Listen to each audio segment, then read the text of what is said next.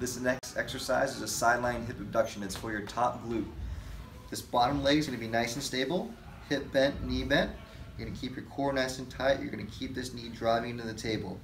With our top leg, this is the one that we're going to be working. We're going to start with the knee straight. You're going to be squeezing this top muscle and you're going to be lifting it back.